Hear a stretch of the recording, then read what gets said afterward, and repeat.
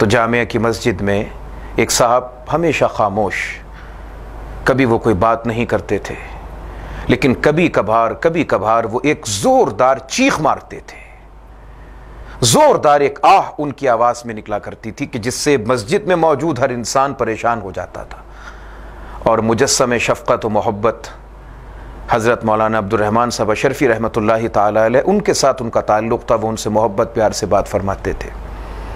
तो एक मरतबा हज़रत ने यह बात बताई कि यह शख्स जो बैठे बैठे एक दीवाना वार आवाज़ निकालता एक आ निकालता है। इसकी ज़ुबान से जो एक दीवाना वार चीख निकलती है, उसको कुछ याद आता है, याद आता है।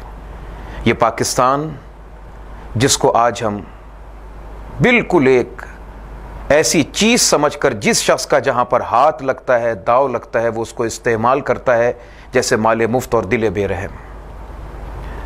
कितनी बड़ी बड़ी कुर्बानियाँ एक दास्तान अर्ज़ कर रहा हूँ। हज़रत ने फरमाया कि यह शख्स जो कभी कभी चीख मारता है, ये चीख इसलिए मारता है कि ये एक ऐसे मोहल्ले में रहा करता था जिसके दाएँ बाएँ चार अतराफ हिंदू और सिख रहा करते थे। ये एक बेटी का बाप था। उस बेटी से इसे बड़ी मोहब्बत थी।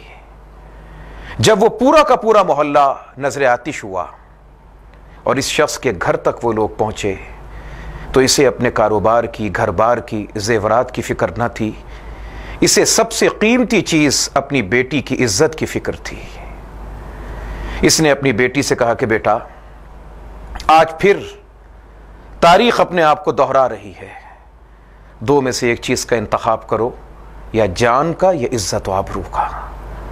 फरमाते कि इस शख्स ने जिस बेटी को न जाने किस मोहब्बत के साथ पाल पोस के बड़ा किया था, कितने अरमान थे अपने हाथों में तलवार पकड़कर उस बच्ची का सर तन से जुदा कर दिया।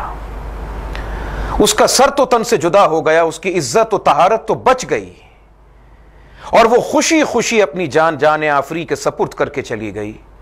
लेकिन मुझसे और आपसे हम सबसे एक सवाल, उस मजलूम, बेकस, बेबस बाप की उस चीख में, आह में, फरियाद में एक पैगाम आज भी मौजूद है कि क्या जिस काम के लिए हमने अपनी जान का नजराना पेश किया था, वो काम हो गया कि नहीं?